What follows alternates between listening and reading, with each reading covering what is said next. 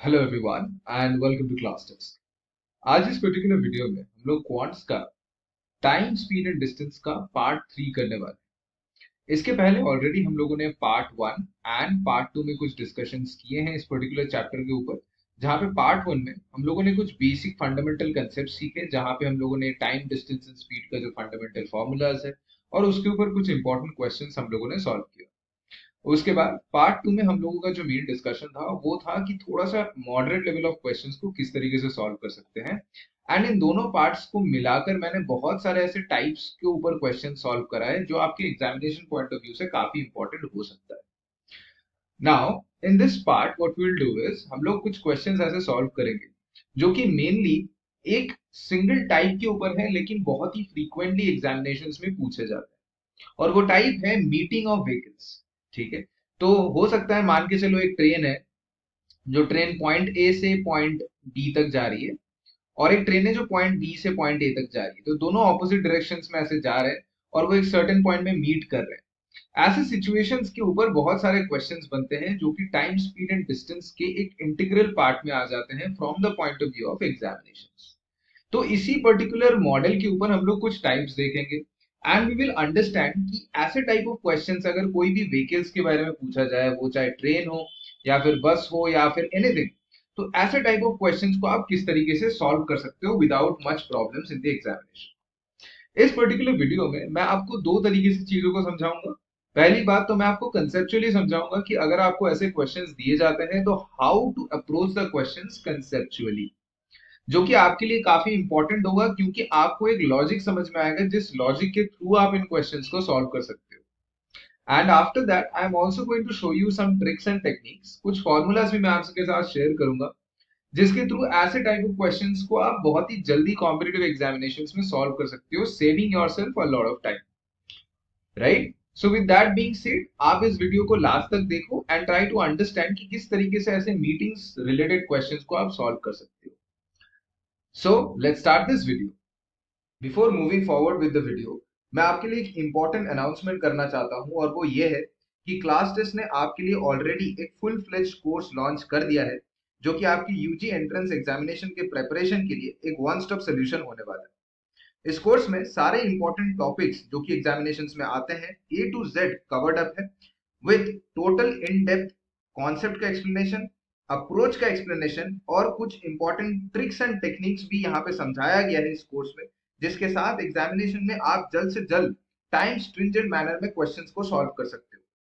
Not only that हम लोग ये कोर्सेज डिफरेंट फॉर्मेट में रखे हैं डिफरेंट फॉर्म्स में अवेलेबल किए हैं, जिसमें आपका जो प्रायोरिटी है, उस चीज़ के ऊपर आप कोर्स में ऑप्ट कर सकते हो।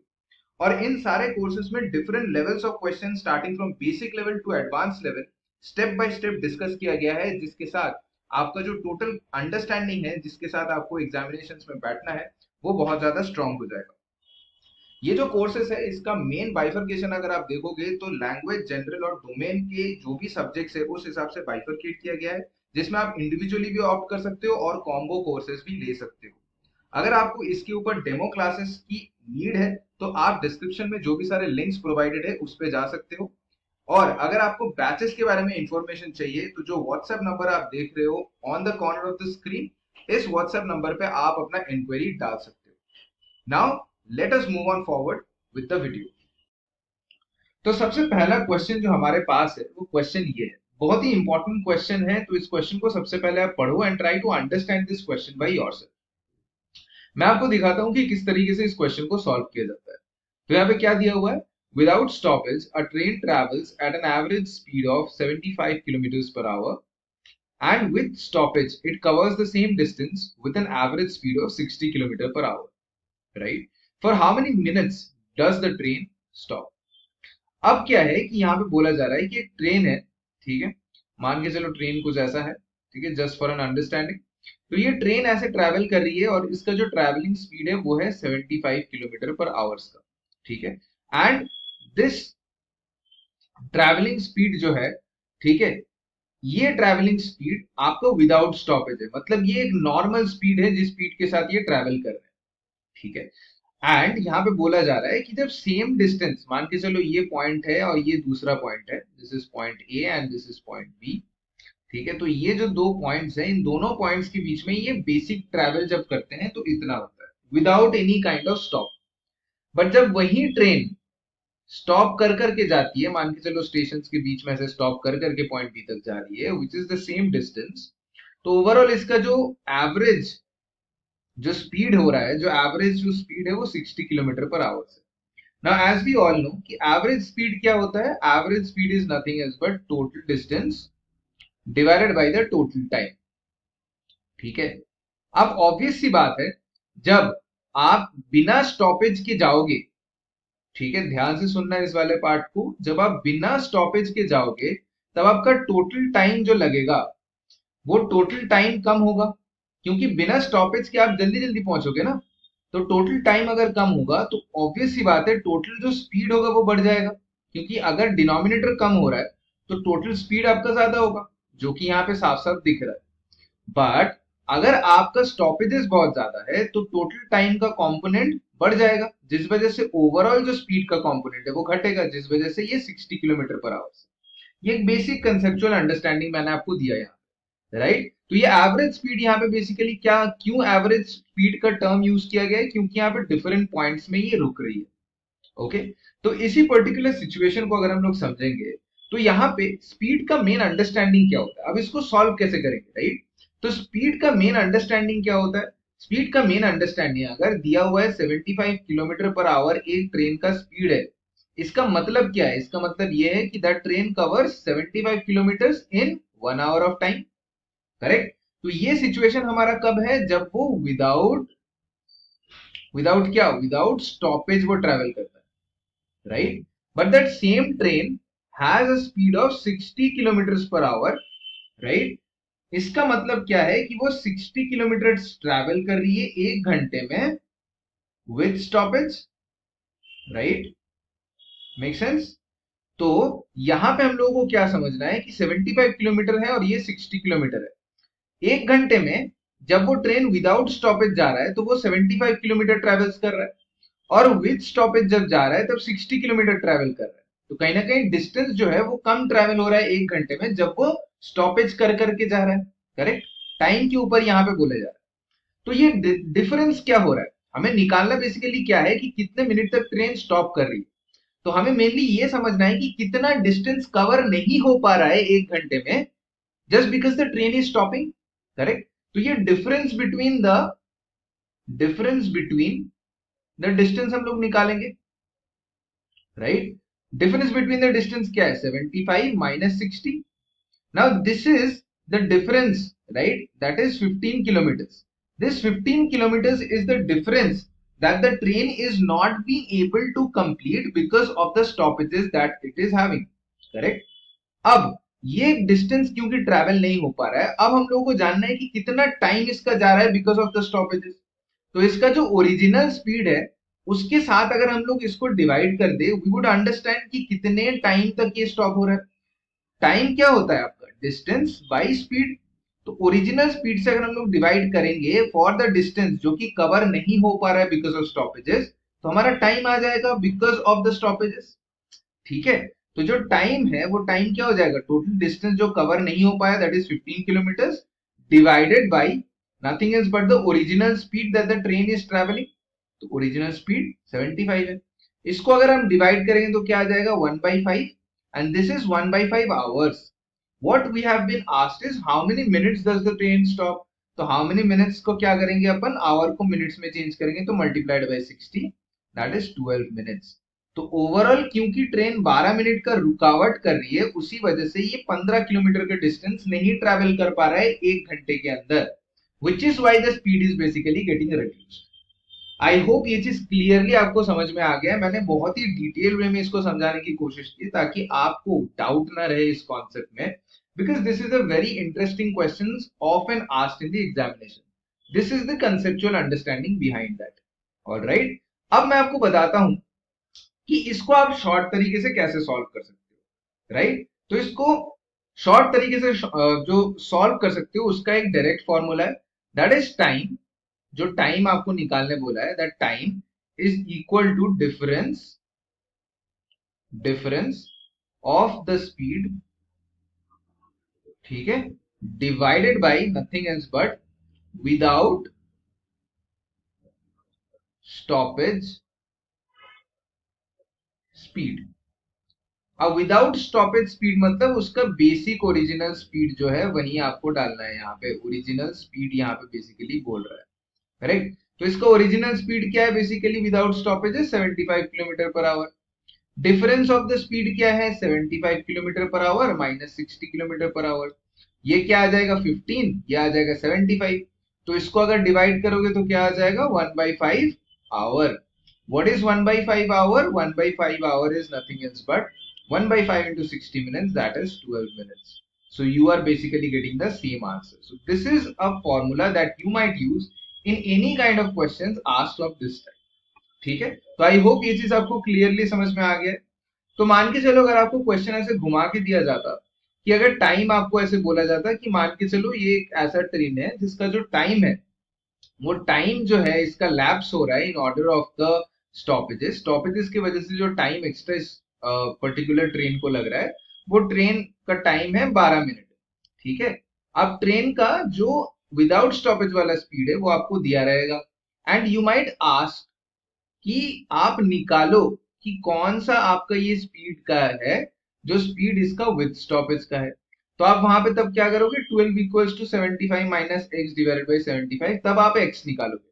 तो किसी भी तरीके से इसको आप निकाल सकते हो। कंसेप्ट मैंने आपको समझा दिया, ये आपका ओवरऑल यूनिवर्सल फॉर्मूला है, जो आप इस पर्टिकुलर टाइप ऑफ़ क्वेश्चंस में यूज़ कर सकते हो in order to solve the questions got it moving forward to the next question तो ये हमारे पास अपना अगला क्वेश्चन है। First of all I would recommend कि आप इस क्वेश्चन को पढ़ो and try to solve it by yourselves तो यहाँ पे क्या दिया हुआ है? Two train start at the same time from A and B and proceed towards B and A at 36 kilometers per hour and 42 kilometers per hour. Right? तो यहाँ पे क्या है? दो ट्रेन है। एक ट्रेन यहाँ पे है, मान के चलो, और एक ट्रेन यहाँ पे, ठीक है? तो यहाँ पे आप मेनली ये टोटल डिस्टेंस ये कवर करना है इसको। ठीक है? अब क्या है? Two train start at the same time from A and B मान के चलो ये ट्रेन पी है और यहाँ पे ट्रेन यू है। ठीक है? And proceed towards B and A मतलब क्यू इस तरफ़ जा रही है एंड पी इस तरफ़ जा रही है। ठीक है? When they meet, it is found that one train has moved 48 kilometers more than the other. ठीक है? अब जब ये मीट कर रहे हैं, मान के चलो इस पोजीशन पे ये मीट कर रहे हैं। ठीक है? ये पोजीशन का नाम हम लोग सी मान लेते हैं। ठीक है, ये जब मीट कर रहे हैं, तब क्या बोल रहे हैं कि it is found that one train has move 48 kilometre more than the other तो अगर मान के चलो, ये वाली ट्रेन अगर x डिस्टेंस मूव की है तो ये वाली ट्रेन कितना डिस्टेंस मूव करेगी? x plus forty eight in the same amount of time right same time में q जो है वो x डिस्टेंस मूव की है और p जो है वो x plus forty eight kilometre का डिस्टेंस मूव की है right what is the distance between A and B आपको मेनली निकालना है x plus x plus forty eight right ये टोटल डिस्टेंस आपको निकालना है। तो ये बेसिकली क्या है? X plus x plus forty eight right यही टोटल डिस्टेंस है यहाँ पे। अगर x plus x plus forty eight आपको निकालना है तो that is nothing else but two x plus forty eight ये आपका फाइनल आंसर होने वाला है। But to find the final answer you need to find x तो यहाँ पे एक चीज़, जब भी ऐसे टाइप ऑफ़ क्वेश्चन दिया रहता है ना when they are meeting at a certain amount of time या समथिंग लाइक दैट तो आपको बेसिकली करना क्या होता है कि जो चीज़ इक्वल है, उसी के ऊपर आपको, उस मेट्रिक के ऊपर आपको एक इक्वेशन फॉर्म करनी होती है। I repeat this point again जब भी ऐसे टाइप ऑफ़ क्वेश्चंस दिया रहता है, जो मेट्रिक इक्वल है, दोनों ट्रेन के लिए, उस मेट्रिक के ऊपर आपको इक्वेशन लगा के सॉल्व करना होता है। अब यहाँ पे क्या बोला है? जब वो मीट कर रहे हैं it is found one train has move 48 kilometre more than the other अब मीट जब करेंगे ऑलवेज रिमेंबर जब दो लोग मीट कर रहे हैं ऑपोजिट डायरेक्शन से आते वक्त तो जिस टाइम पे मीट कर रहे हैं, वो टाइम दोनों के लिए सेम होगा। तो बी जब ये एक्स डिस्टेंस कवर की है, और सॉरी क्यू जब ये एक्स डिस्टेंस कवर की है, और पी जब x plus forty eight distance cover की है और जब मिल रहे हैं तो वो x प्लस फोर्टी का जो डिस्टेंस कवर किया है, वो उसी टाइम पे किया है। तो ये टाइम भी t है बेसिकली और वही सेम टाइम में ही ये q कवर किया है। तो basically the metric of time is same for both the train तो हम लोग क्या करेंगे, बस टाइम को एक दूसरे के साथ इक्वलाइज करेंगे राइट तो टाइम क्या होता है? तो basically time of Q is equal to time of P what is time of q? Time of q is nothing else but speed, sorry, distance of q divided by speed of q, and here time of p is distance of p divided by speed of p. तो इसको अगर हम लोग further solve करेंगे distance of Q क्या है भाई? Distance of Q आपका यहाँ पे देखो है x right and speed of Q क्या है? स्पीड ऑफ़ क्यू आपको दिया गया है यहाँ पे ऑलरेडी दिया गया है that is 36 kilometre per hour obvious सी बात है, अगर ये कम डिस्टेंस कवर कर रहा है तो इसका स्पीड भी कम ही होगा। तभी कम डिस्टेंस कवर कर रहा है। तो ये लॉजिक आप अप्लाई कर लेना अगर आपको कंफ्यूजन होगी तो। दूसरे जगह पे क्या लिखा है? डिस्टेंस ऑफ़ पी राइट तो डिस्टेंस ऑफ़ पी क्या है भाई? डिस्टेंस ऑफ़ पी आपका x plus forty eight at the same time ये x plus forty eight distance cover किए। स्पीड ऑफ़ पी बचा हुआ यहाँ पे दिया हुआ है that is forty two right तो इसको आप अगर सॉल्व करोगे तो x का वैल्यू आ जाएगा around two hundred and eighty eight this is in kilometres right अब हम लोग का आंसर क्या है? आंसर है टू एक्स प्लस फोर्टी तो टू इंटू टू ठीक है? प्लस फोर्टी एट आपको करना पड़ेगा। इसको अगर आप करोगे तो आपका जो फाइनल आंसर आएगा, वो 624 किलोमीटर आएगा। ठीक है? कैलकुलेटिवली शायद ये चीज़ गलत हो। आप एक बार चेक कर लेना अपने तरफ़ से सॉल्व करके but the process that I shown over here is the right process alright तो इसी तरीके से आपको मेनली ऐसे मीटिंग्स रिलेटेड क्वेश्चंस को सॉल्व करनी होती है। Moving forward to the next question अब यहाँ पे क्या दिया हुआ है? देखो, अब यहाँ पे दिया है two boys A and B starting from the same place walk at the rate of 5 kilometre per hour and 5.5 kilometre per hour ठीक है? अब देखो, ये स्टार्ट कर रहे सेम प्लेस से। एक ही प्लेस से स्टार्ट कर रहे राइट तो यहाँ पे अगर मान के चलो ए स्टार्ट कर रही है तो उसी एरिया से बी भी स्टार्ट कर रही है and they are starting to walk in that same line ठीक है? तो मान के चलो ये लाइन है। ठीक है। अब क्या है कि एक इंसान का जो रेट है वो फाइव किलोमीटर पर आवर है और एक इंसान का रेट जो है स्पीड है basically 5.5 kilometre per hour what is the total time the take to be 8 kilometre apart अब देखो, यहाँ पे क्या बोला जा रहा है कि एक टाइम के बाद देखा जा रहा है बेसिकली कि जो बी है जिसका स्पीड ज़्यादा है डेफिनेट सी बात है कि अगर एक इंसान का स्पीड कम है और एक इंसान का स्पीड ज़्यादा है तो at one point of time B would be ahead of A correct तो ये अगर ओवरऑल देखा जाए तो यहाँ पे बोल रहे कि एक ऐसा पॉइंट आता है जहाँ पे बी थोड़ा आगे आ जाता है और ए ऐसे पीछे आता है और इनके बीच में जो डिस्टेंस होता है वो एट किलोमीटर होता है। ठीक है? अब बोला जा रहा है कि starting from the time that they have started running आप बताओ कि कितने, कौन सा टाइम फ्रॉम द स्टार्टिंग ये दोनों इस पोजिशन में रहेंगे। तो यहाँ ऑब्वियस सी बात है, ये जो सिचुएशन है, ये सिचुएशन अगर यहाँ से शुरुआत से टाइम को देखा जाए अगर टाइम यहाँ पे ज़ीरो था और इस पोजीशन में टाइम अगर टी था तो दोनों के लिए ये टाइम बेसिकली सेम ही होगा। करेक्ट सेम ही टाइम होगा दोनों के लिए। तो यहाँ पे डिस्टेंस क्या है देखो? Distance of B and distance of A is nothing else but eight kilometres Now, what is distance of B? Distance of B is nothing else but the time into the speed of B. So, time into the speed of right? And distance of A क्या होगा? The same time into the speed of A, right? This is equal to 8. अब अपने को निकालना क्या है t को common ले लेते हैं 5.5 point five minus five equals to eight और उसके बाद अगर हम लोग सॉल्व करेंगे तो t क्या आ जा रहा है t into point five is equal to eight तो अगर हम लोग टाइम यहाँ पे देखेंगे तो टाइम क्या हो जा रहा है टाइम आपका हो जा रहा है यहाँ पे eight divided by point five right तो यहाँ पे ऊपर चला जाएगा और ये हो जाएगा आपका सिक्सटीन आवर्स राइट तो सोलह घंटा जब हम लोग इसी तरीके से जा रहे हैं द सेम रेट इन दोनों का डिस्टेंस एट किलोमीटर का होगा। So this will happen after the time of sixteen hours ठीक है? तो आई होप ये क्वेश्चन का जो तरीका है और जिस तरीके से इसको सॉल्व करना है, वो आपको क्लियरली समझ में आ रहा है, ठीक है? Moving forward to the next question तो ये हमारा अगला क्वेश्चन है। इस पर्टिकुलर क्वेश्चन को अच्छी तरीके से हम लोग डिस्कस करेंगे। बहुत ही इंपॉर्टेंट क्वेश्चन है and at the same time आपका अंडरस्टैंडिंग बहुत ज़्यादा अच्छा हो जाएगा इस क्वेश्चन को, अगर आप खुद से सॉल्व कर लेते हो तो। ठीक है? तो इसमें मैं आपको सबसे पहले तो एक कंसेप्चुअल तरीका बताऊँगा कि किस तरीके से इसको सॉल्व किया जाता है कंसेप्चुअली आइडिया क्या है इस क्वेश्चन के पीछे?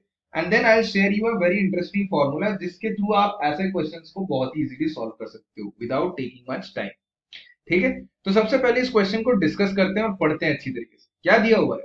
कि two train start from A and B at the same time ठीक है? तो दो ट्रेन से जो point A and point B से अपना जर्नी स्टार्ट कर रहे हैं। तो यहाँ मान के चलो पॉइंट ए से पी एक ट्रेन है जो स्टार्ट कर रही है और पॉइंट बी से क्यू एक ट्रेन है जो स्टार्ट कर रही है। अब इनका जो टोटल डिस्टेंस और लाइन ऑफ़ डिस्टेंस है वो ए टू बी है right and proceed towards each other to reach B and A respectively तो क्यू बेसिकली जो है, वो ए तक पहुँचना चाहती है और बी पी जो है, वो बेसिकली बी तक पहुँचना चाहती है राइट अब क्या बोला है? After crossing each other they take 81 and 49 hours respectively to reach their destination तो आफ्टर क्रॉसिंग ईच अदर मतलब एक ऐसा पॉइंट होगा जो कि मान के चलो सी है, जहाँ पे पी भी क्रॉस करेगा और क्यू भी क्रॉस करेगा। और क्रॉस करने के बाद क्या हो रहा है कि they are taking 81 hours and 49 hours respectively तो ये जो क्रॉस पॉइंट है, इसके बाद क्या है कि Q को ऐसे 49 आवर्स लग रहा है और P जो है, P को कितना टाइम लग रहा है? P को टाइम लग रहा है around 81 hours to reach the destination ये क्रॉसिंग के बाद का टाइम दिया गया ये आपको समझना ज़रूरी है, ठीक है? अब क्या दिया है कि find the speed of the second train if the first train run at 70 kilometre per hour तो पहला ट्रेन का हमारा स्पीड क्या दिया गया है? 70 किलोमीटर पर आवर ठीक है? और ये दूसरा जो ट्रेन है, इसका हम लोग को स्पीड निकालना है। तो let us consider that speed is S तो मैंने आपको क्या समझाया था थोड़ी देर पहले कि जब भी ऐसे मीटिंग्स रिलेटेड प्रॉब्लम दिया रहता है तो we would always try to equalise that metric which is same for both the systems that are going to meet correct तो यहाँ पे कौन सा मेट्रिक सेम है दोनों के लिए?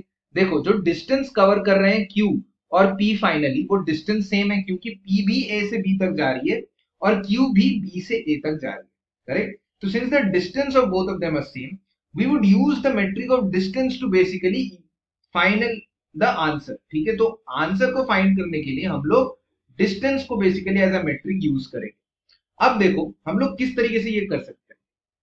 अब जब भी हम लोग किसी भी चीज़ को मीट कराते हैं from any starting point of time मान के चलो टी ज़ीरो से ये लोग स्टार्ट किए at some point of time which is T इस टाइम पे ये दोनों मीट किए हैं, जो कि स्टार्टिंग पॉइंट ऑफ़ टाइम से सेम रहता है वो टाइम तो एट टाइम टी मान के चलो वो दोनों मीट किए पॉइंट सी में. तो ऑब्वियस सी बात है, ये जो डिस्टेंस है पॉइंट बी टू सी का डिस्टेंस बी टू सी का जो डिस्टेंस है, वो दोनों ट्रेन के लिए सेम ही है करेक्ट क्योंकि ये ट्रेन इस टाइम में ये वाला डिस्टेंस कवर किया और एक सर्टेन टाइम में ये भी उसी डिस्टेंस को कवर किया तो अब हमें पता है कि ट्रेन ए का सॉरी ट्रेन पी का जो स्पीड uh, है that is 70 kilometre per hour right and the distance C to B अगर हम लोग इस पी के लिए निकालना चाहे तो टोटल ये कितना डिस्टेंस होगा 70 kilometre per hour into 81 hours because For P to cover the distance C to B, it took 81 hours of time. Correct? तो for the train P हम लोग ऐसे लिख सकते हैं कि ये जो डिस्टेंस बी टू सी है वो बी टू सी का डिस्टेंस क्या होगा 81 hours into 70 kilometre per hour that is the total distance speed into time basically and at the same point अगर Q का हम लोग देखेंगे तो ये B to C का डिस्टेंस कवर करने के लिए the speed of S it took a time of T correct तो this took around S into T correct अगर टाइम टी मान रहे हैं और स्पीड ऑफ़ क्यू अगर हम लोग एस मान रहे हैं तो, तो इसको हम लोग मान के चलते इक्वेशन वन है। सिमिलरली अगर हम लोग पॉइंट ए टू सी का डिस्टेंस को मेजर करें फॉर बोथ द ट्रेन तो इस ट्रेन के लिए देखो 70 किलोमीटर पर आवर और टाइम इसको कितना लग रहा है? टी लग रहा है बिकॉज़ मीटिंग पॉइंट तक जाने के लिए दोनों ट्रेन को एक ही टाइम लगता है। तो 70 किलोमीटर पर आवर इंटू टाइम टी हो जाएगा उसके लिए। And for the train Q देखो, इसको 49 आवर्स ऑफ़ टाइम लगता है सी से ए तक जाने में, और उसका स्पीड एस है। तो 49 इंटू एस हो जा रहा है। This is equation two for us now using equation one and two अगर हम लोग डिवाइड करते हैं इसको इक्वेशन वन और इक्वेशन टू को अगर हम लोग डिवाइड करते हैं तो क्या हो जाएगा? 81 वन इंटू सेवेंटी और नीचे क्या आ जाएगा? 70 इंटू टी और यहाँ पे इक्वल करेंगे किसके साथ? एस इंटू टी और यहाँ पे 49 नाइन इंटू एस राइट तो इसको अगर हम लोग फर्दर सॉल्व करेंगे एस एस कैंसिल हो जा रहा है, यहाँ पे 70 70 कैंसिल हो जा रहा है तो यहाँ पे ऊपर आ जा रहा है टी स्क्वायर इधर आ जा रहा है 49 राइट इनटू आपका आ जा रहा है, यहाँ पे नथिंग एल्स बट 81 तो अगर यहाँ से हम लोग टी का वैल्यू निकालेंगे तो क्या हो जाएगा? सेवन इंटू नाइन इसको ऐसे ही रहने देते हैं, ठीक है? आप चाहते हो तो मल्टीप्लाई भी कर सकते हो but there is no point क्योंकि हमें क्या करना है कि हमें एस निकालना है। तो एस अगर निकालना है तो हम लोगों को इक्वेशन वन में टी का वैल्यू पुट करना है सिंपल सी चीज़ है। तो 81 one into seventy is basically equals to S into T के जगह पर लिखेंगे सेवन इंटू नाइन ये बस ये वैल्यू हम लोग इक्वेशन वन में पुट कर रहे हैं। ठीक है? तो अगर हम लोग फाइनली इसको देखेंगे तो क्या हो जा रहा है? सेवन यहाँ से टेन में जा रहा है और नाइन यहाँ पे नाइन से जा रहा है। तो एस का वैल्यू क्या हो जा रहा है? 90 किलोमीटर पर आवर तो ये आपका करेक्ट आंसर हो गया for the second train speed तो आई होप ये जो पूरा प्रोसेस है, आपको बहुत अच्छी तरीके से समझ में आ गया है। बहुत ही इंपॉर्टेंट क्वेश्चन है at the same time very interesting question is well to solve ठीक है? अब ये तो हो गया आपका कंसेप्चुअल मेथड आई होप ये चीज़ क्लियरली आपको समझ में आ गई करेक्ट अब मैं आपको बताता हूँ एक बहुत ही सिंपल टेक्निक जिसके साथ इस पूरे क्वेश्चन को आप एक मिनट के अंदर सॉल्व कर सकते हो। And that is a very easy formula that you have to remember तो formula of this particular question क्या है? फॉर्मूला है कि speed of train P divided by speed of train Q is equals to root over time of train Q divided by time of train ठीक है? तो यहाँ पे ये फॉर्मूला कैसे अप्लाई होगा? देखो, आपको क्या क्या चीज़ दिया गया आपको फ़र्स्ट ट्रेन का स्पीड दिया गया है। तो उसके जगह फ़र्स्ट स्पी हम लोग फ़र्स्ट ट्रेन मान रहे थे तो 70 रख दो। सेकंड ट्रेन का स्पीड अपने को निकालना था right time of the second train क्या दिया हुआ है? Time of the second train आपको दिया गया था 49 और time of the first train क्या दिया गया? आफ्टर मीटिंग पॉइंट 81 करेक्ट तो इसको फर्दर सॉल्व करो। 70 divided by S Q is equal to seven divided by nine तो यहाँ से ये ये टेन में कट रहा है और आपका एस क्यू का वैल्यू आ जा रहा है नाइनटी किलोमीटर पर आवर तो देख रहे हो कितना इजीली आप इस चीज़ को सॉल्व कर पाए। ये जो फॉर्मूला है, इस फॉर्मूला में ये जो टाइम दिया हुआ है this is the time that the train is taking to reach their destination individually after their crossing time ठीक है? क्रॉस करने के बाद एक दूसरे को जो टाइम है, वो टाइम ये है। हमेशा याद रखना। और स्पीड जो है, वो स्पीड आपको इंडिविजुअली दिया रहेगा। अब इसमें से कोई भी चीज़ आपको पूछा जाए एग्जामिनेशन में, वो चाहे टाइम वो चाहे speed you can easily use the subjects accordingly और आप अपना आंसर इजिली निकाल सकते हो। तो this is a very important formula that you might remember to solve this question ठीक है? तो आई होप ये वीडियो जो था, आपके लिए काफ़ी ज़्यादा हेल्पफुल रहा होगा। इस वीडियो में हम लोग बहुत इंपॉर्टेंट कुछ क्वेश्चन सॉल्व किए हैं, जो कि आपका एग्जामिनेशन पॉइंट ऑफ़ व्यू से काफ़ी ज़्यादा हेल्पफुल होने वाला है। So thank you for watching this video